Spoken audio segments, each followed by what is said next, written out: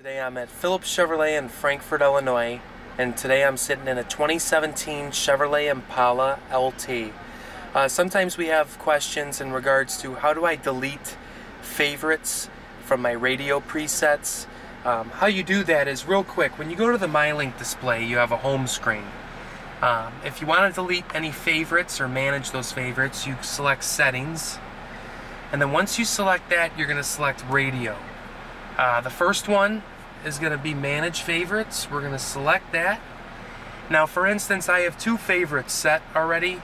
Now if I want to delete one, I just simply select it and then I press delete down here in the right hand corner and that's how it deletes a favorite. If I want to delete another one, I just select delete.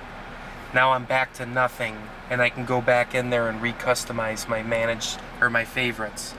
Uh, just a brief synopsis on how to do that. If you got any questions, we got plenty of uh, Impalas on the lot. Come on down to Frankfort and see Anthony. Thanks.